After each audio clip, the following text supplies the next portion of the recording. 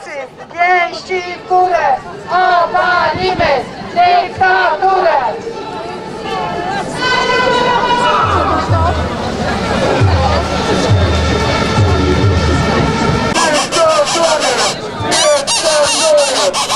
Dyktatorem! Precz z! Dyktatorem! Dyktatorem! Dyktatorem! Precz z kaczorem! Dyktatorem! Precz z kaczorem! Dyktatorem! Dyktatorem!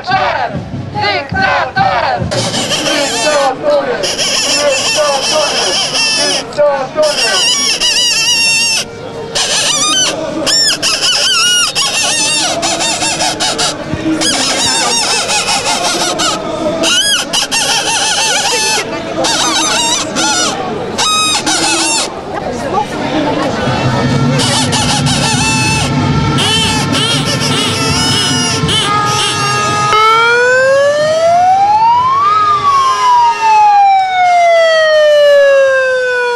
Obronimy demokrację!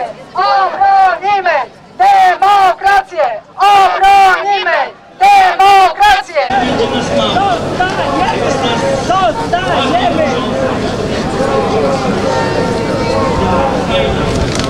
Jadą tutaj, może inaczej, dwa dni temu, Niemiecką. Nie ma.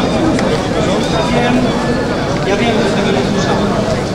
Wiem, że część z Was pozostanie. Inaczej ten facet...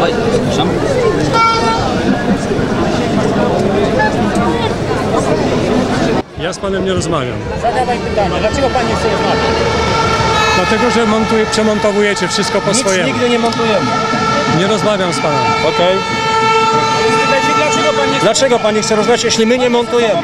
Nie, nie rozmawiam z panami. Bardzo przepraszam. dlaczego? Mam prawo z panami nie rozmawiać. Jestem wolnym obywatelem. Okej. Na razie obserwujemy wszystko z boku, ani nie jesteśmy za PiSem, ani za Platformą. Proszę Z pana. tego, panie. Żaden nie jestem, tylko baner trzymam. No właśnie, No. okej. Niech Nie, mi nie, pan ale- powie, no. dlaczego pan tu przyszedł, jakby pan to wyjaśnił. I trzy rzeczy. Jaki ma pan stosunek do Ukrainy, do Stanów Zjednoczonych, Federacji Rosyjskiej? Dobra. Chin, Indii. O, panie, żeś pan zaszalał. No taki czas. E, dobra. E, tak, nie przyszedłem, tylko przyjechałem, bo z Poznania. Pozdrawiam Poznań. E, pozdrowie, przekażę. I teraz stosunek do co? Do krajów e, ościennych? Tak jest. No to tak, no stosunek do Ukrainy, chyba no, jakby to powiedzieć, no w interesie naszym jest to, żeby Ukraina była niepodległa. Okej. Niekoniecznie strasznie silna, ale na tyle silna, żeby się obronić przed Rosją, Mhm. żebyśmy ten bufor mieli, bo lepiej ruskie czołgi mieć na Donie niż na Bugu. Mhm. No to to jest pierwsza kwestia, tak, jeśli chodzi o Ukrainę. Poza tym, no nie na darmo Niemcy nas wprowadzali do Unii Europejskiej, wiedzieli, że państwem frontowym będzie niefajnie. Czyli lepiej, żebyśmy mieli państwo inne buforowe, jeszcze takie, w którego, z którym można handlować i dla którego jesteśmy Mhm. atrakcyjni kulturalnie i, i, i możemy sensownie z nim załatwiać swoje interesy. Następny? Chiny, Indie, Stany Zjednoczone, Niemcy. Myślę, że jeżeli chodzi o relacje z Chinami, to nie wiem, czy Chiny zdają sobie sprawę, że Polska istnieje, e, więc e, mowa o stosunkach partnerskich polsko-chińskich, e, to zdaje się, że były dowcipy za czasów Breżniewa, ale teraz to już chyba można sobie ten temat darować. Generalnie trzeba utrzymywać z nimi dobre relacje, tak jak z każdym innym krajem. No, Jeśli chodzi o Indię, myślę, że sytuacja jest dokładnie ta sama. Fakt, że największe, najbardziej e, perspektywiczne kraje, co zupełnie nie zmienia faktu, że no nie jesteśmy w stanie mieć z nimi jakichkolwiek priorytetowych stosunków dla nich, ani dla nas. Tak? No próbuje, próbował tego Orban z Chinami, myślę, że niewiele z tego wyszło. Kto jeszcze? Stany Zjednoczone. Bez wątpienia e, gwarant demokracji światowej. No państwo, które udowodniło, że przyjmowanie imigrantów, uchodźców e, wszelkiej maści, jak to się ładnie u nas mówi, ciapatych teraz, popularne takie słowo, e, że po prostu przynosi ewidentną korzyść geopolityczną. Dzięki temu można się stać najsilniejszym krajem świata e, i jedyne supermocarstwo światowe, które wyznaje takie wartości, dowodzi tego, że one są, jeśli nie słuszne moralnie, to skuteczne politycznie. No tak, ale proszę pana, połowa tych, którzy przybyli do Niemiec nie mają dokumentów. No tak, do Stanów jak przybywali, to Nie, nie, wszyscy byli sprawdzani. Jak, jak lądowali przy, przy, przy nabrzeżu, wszyscy ich sprawdzali. Rio Grande? Służb... Wszyscy Na, byli. na, na brzeżu byli łapani, Grande ci. Meksykanie, których jest tam, ci Meksykanie, Mu- którzy 30 milionów pan, ale. zieloną No, granicę, no, moment, tak? moment, ale pan, Meksykanie to Hiszpanie, a tu mamy ludzi z Magrebu, gdzie sami chrześcijanie syryjscy No. mówią, że oni się nie asymilują. Ale kto się, chrześcijanie syryjscy, z kim się nie asymiluje? Ludność muzułmańska, która przybywa do Europy, nie, ta w Europie. No tak. No ale pan mówi o emigracji teraz tu, to są dwie różne migracje. W Ameryce. No Ameryka to jest, no tak. Państwo świata, No tak. zbudowane rękami emigrantów, uchodźców. Potęga światowa. A pan wie o tym, że A to- z no. jednego dolara w amerykańskiej kieszeni zostało 4 centy, reszta jest, reszta to są długi wobec Chin? No tak, ale nie zauważyłem, żeby Chiny najeżdżały jakieś inne kraje, gdy przyjdzie im na to ochota, a Ameryka może to zrobić, więc chyba na razie jeszcze jest najpotężniejszy. No dobrze, a wróćmy do Fe- Federacji Rosyjskiej. Federacja Rosyjska, no cóż, no układy z nią mamy takie, jakie mamy. No, mamy tak, Słuszne czy nie? nie mamy na nie zbyt wielkiego wpływu. Czy będziemy robić gesty przyjazne, czy będziemy robić gesty nieprzyjazne. Jeżeli będziemy robić gesty nieprzyjazne, to na całym świecie zostaniemy przedstawieni jako awanturnicy i nikt nas nie będzie słuchał, bo nikt nie chce być w peletonie z liderem, który ma świra. Więc, e, więc e, powinniśmy robić swoją robotę, wzmacniać, e, e, wzmacniać wszelkiej maści koalicje, które dążą do tego, żeby Rosja się nie rozbestwiała zanadto, bo jak każde imperium ma taką tendencję. Natomiast nie musimy tego robić z wrzaskiem, przytupem, bo to nic nam kompletnie nie da. Nikt nas nie będzie słuchał, gdy będziemy to robić z wrzaskiem i przytupem. Musimy to robić na spokojnie, na chłodno, rzeczowo. Jeżeli chcemy, żeby polski punkt widzenia był przyjmowany, a to się zdarza, e, był przyjmowany w e, postrzeganiu Rosji e, przez Amerykę czy przez e, Unię Europejską, to mamy na to szansę tylko jeżeli będziemy chłodni i, i, i będziemy kalkulowani. Wariatowi i szaleńcowi nikt nie uwierzy. Z obłędem w oczach możemy się rzucić i spłonąć. Czym się różnią według pana rządy Platformy PSL a PiSu? No, różnią się jedną zasadniczą kwestią, to znaczy stosunkiem do wszelkiej maści kontroli władzy publicznej. Czyli jeżeli władza wykonawcza i władza ustawodawcza mają być kontrolowane przez organy zewnętrzne, to te organy zewnętrzne muszą być od niej niezależne, muszą mieć kadencyjność i nieodwoływalność. To są trzy bezwzględne warunki. I takimi organami na przykład w polskiej, w polskim, w polskiej konstytucji jest Krajowa Rada Radiofonii i Telewizji. Nie wiem po co ona do końca jest, bo ja nie wiem po co są media publiczne, ale jeżeli jest kadencyjność, to się nie powinno tego łamać choćby po to, żeby telewizja przeciwna rządowi dosrywała mu bez przerwy i zmuszała go do udowadniania, że nie jest wielbłądem. I taka sytuacja miała miejsce podczas tam bodajże pierwszych czterech lat rządów Platformy Obywatelskiej. Mimo to Platformie udało się wygrać jedne wybory, drugie wybory, trzecie wybory. Nie szkodziło to w niczym. PiSowi to od razu przeszkadzało, zlikwidowała media e, publiczne, zamieniła je na swoją szczekaczkę.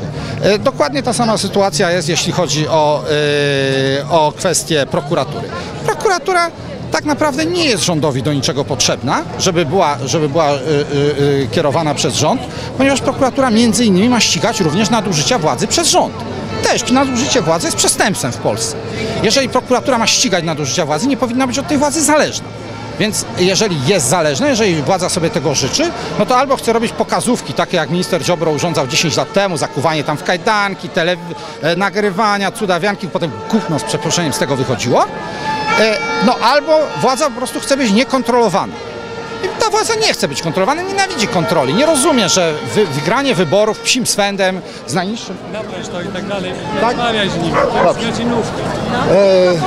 gdy nie rozumie, e, po prostu ta władza nie rozumie, że jak się wygrywa wybory psim swędem, to trzeba się modlić o to, żeby później e, żeby mieć nad sobą na bieżąco kontrolę, bo jak się jej nie będzie miało, to się narobi takiego dymu, który potem skończy się na ulicy. I nie tam takimi demonstracjami jak my tutaj. Rumuni się wzięli, jak dokładnie to samo, co, co zrobiono z ministrem Kamińskim, tak? Wymyślono przepisy po to, żeby lider partii politycznej, która wygrała wybory, mógł bezkarnie zostać premierem, mimo e, że był skazany za korupcję. Rumuni się wzięli, wyszli na ulicę, e, wyszło ich milion, partia się zesrała w majtki i się skończyło. I, i to, to znaczy, że to jest możliwe i lepiej takiej sytuacji nie prowokować, lepiej mieć nad sobą ten bat. Dokładnie ta sama sytuacja z Trybunałem Konstytucyjnym.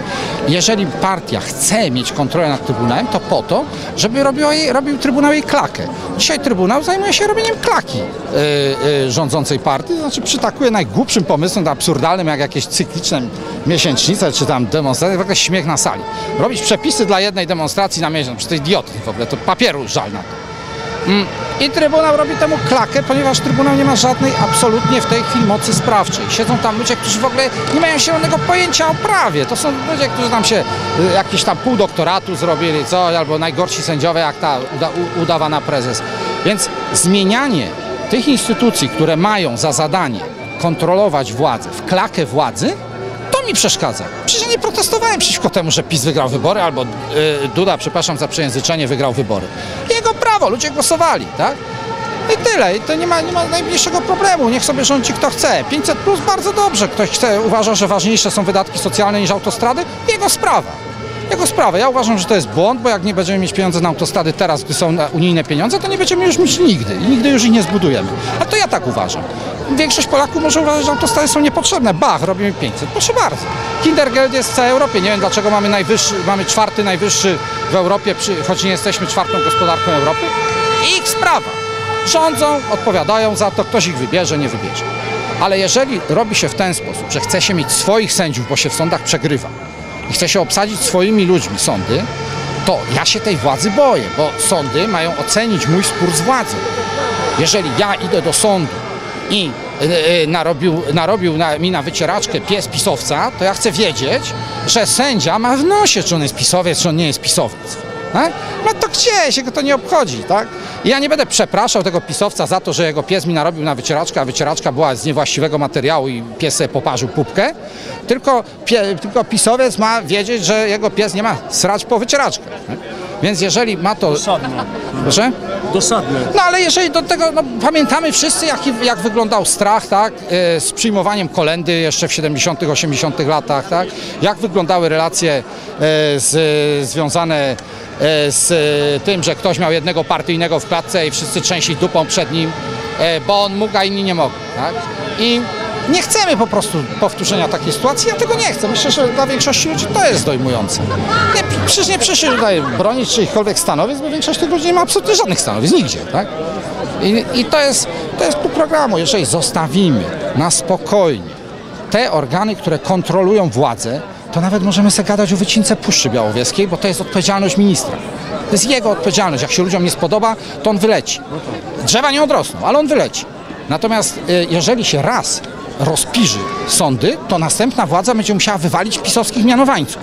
Następna władza będzie musiała wywalić mianowańców następnej. Następuje rotacja polityczna sędziów, tak? Absurdalna, absurdalna, bo sędziego, kształci się, sędziego się kształci 10 lat. Tak, jest długi. Jeżeli wrzucamy teraz człowieka, który tylko tyle, tak, że jego jedyną zasługą jest to, że wstąpił do komitetu e, upamiętniającego Lecha Kaczyńskiego albo inne tego typu rzeczy zrobił, no to i za to mu dajemy e, nominację, nie bacząc na to, że powiedzmy jest TW Wolfgang albo tam jakiś, albo oskarżał w stanie wojennym, tak?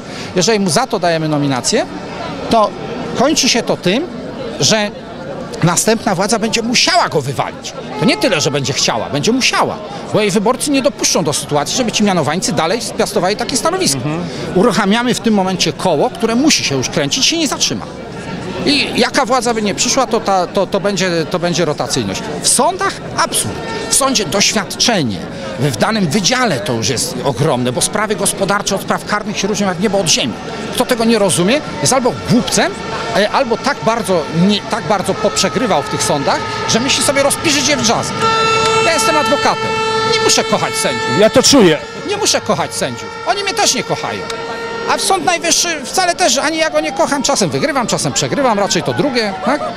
I, I to nie o to chodzi, kto jest tam dzisiaj. Tak? Te demonstracje nie są w obronie ludzi, którzy są tam dzisiaj. One są przeciwko temu, żeby przyszli tam mianowańcy. Bo jak przyjdą mianowańcy, to trzeba ich potem będzie zastąpić innymi mianowańcami. I co, będziemy tak odsyłać kolejnych na zieloną trawkę? No to tu, absurdalne po prostu. I to jest problem, z tym tutaj przychodzę. Nie, no, na pewno nie z tym, czy mi się tam, czy, czy nie wiem, czy mi się podoba minister Macierewicz. No nie podoba mi się, ale też bym nie wyszedł przeciwko niemu na ulicę, tak? Bo to nie o to chodzi. To nie chodzi o to, czy on robi mądrze, czy on robi źle, jego odpowiedzialność. Ma, dostał, wygrał wybory. Faktem, że fuksem wszechczasów, bo tyle, taką większość to do tej pory miała tylko SLD z PSL-em w 93 roku 30 parę procent, tak? I większość prawie, że konstytucyjna. To nie o to chodzi. Chodzi, jesteśmy tutaj dlatego, żeby nie dopuścić do bezkarności władzy. Bo władza chce sobie zapewnić bezkarność. Jak ona chce sobie zapewnić bezkarność, to pytanie, komu chce robić krzywdę bezkarnie? No chyba nam, bo komu? No zamierza coś zrobić takiego, co musi jej ujść bezkarnie w przyszłości. Tak? No więc co, co, komu chce to zrobić? Sobie? Może i sobie. Stalin w 30 latach rozwalał swoich, a nie obcych. Niech pan zażąda pełnej autoryzacji. Dobrze, proszę o pełną autoryzację. Będzie. Będzie. Bardzo dziękuję, to było niezwykle ciekawe. Bardzo Do widzenia.